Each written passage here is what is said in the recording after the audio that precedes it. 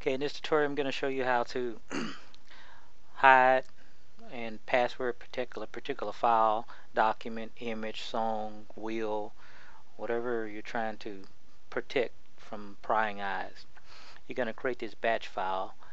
Uh, to access this batch file you can view it in the, the details below and you're going to select all of this by pressing control A and then press control C on your key keyboard and that's the same as going to edit control A control C. You're going to be selecting all and then copying it. And open up a new notepad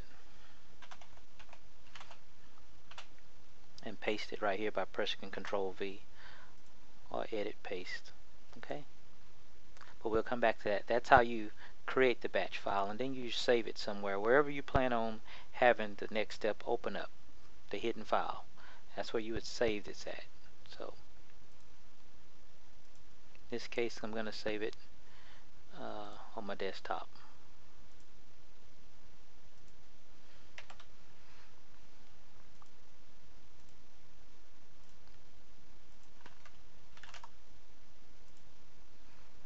Now, but for this test, I've created this test folder just to show you that's where I've saved it in the test folder. In here I click and it says enter the password. The password is 123 and then this hidden folder would open up. You click your folder there's your files you're trying to hide. Boom bam okay. When you're done double click.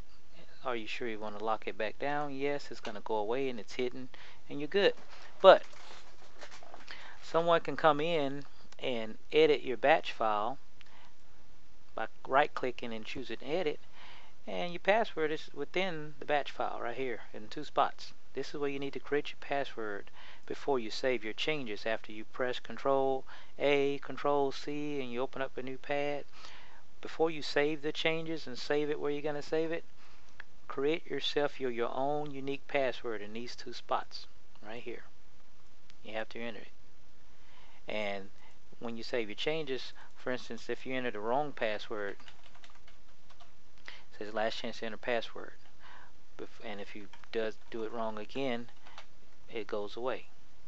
Well if you want a hint to your unique password just change this string right here where it says echo. Leave that there. Echo means to say something you know.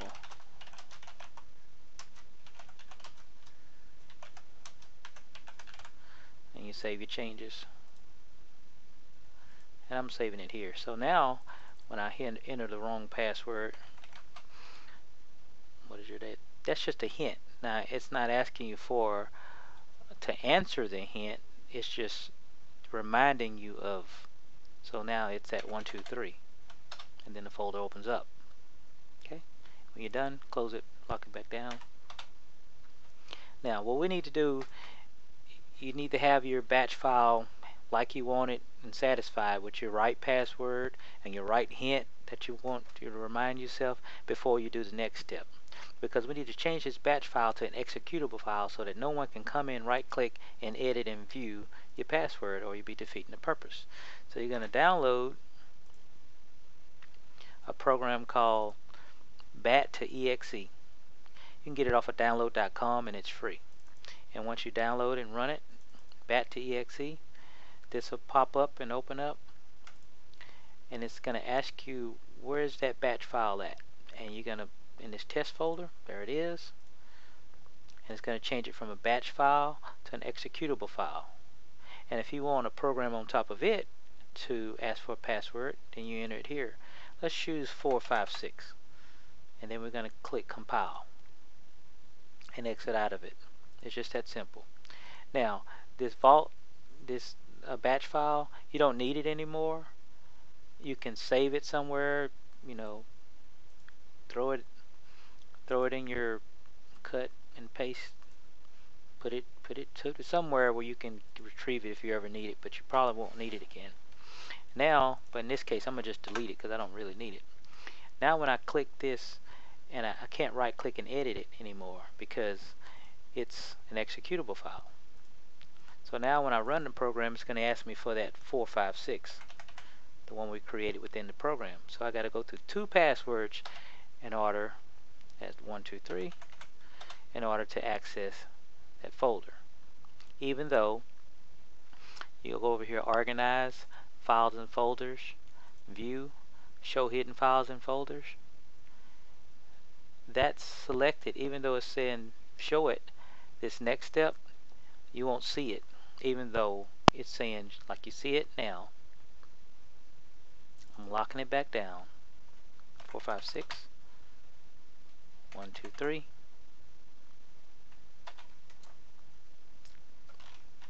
Yes. And it's gone. But what we want to do is stop someone from, like, say, deleting this.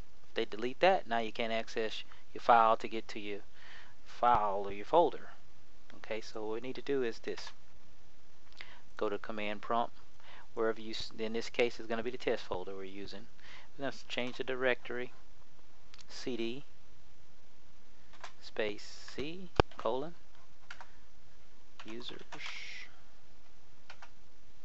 public test folder. And then you're going to type this ATT RIB space plus H space plus S. Now once you hit enter and have it typed just like that, this information is wherever you save that. Wherever you save this is what this needs to say, wherever you saved it.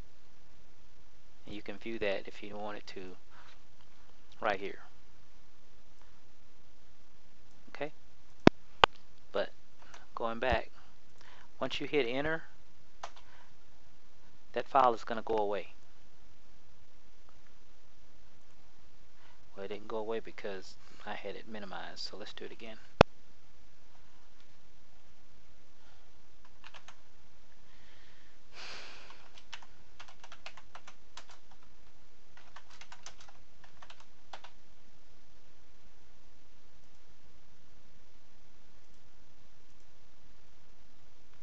Okay and it's gone. And it's going to stay gone. Because even if you have folder show hidden files and folders it's going to stay gone. I didn't have a page refresh but it's it's it's there but you don't see it because of what we did earlier right here. So to access that you go type ATT RIB space and change those pluses to. And then that file will appear back. Okay? So if if you want, you can go through three uh, indefinite layers of locking down a file, but that's a way to hide the file that needs a password to access the password to access your file. And I hope that helps or explains it. Thanks for watching. Good luck.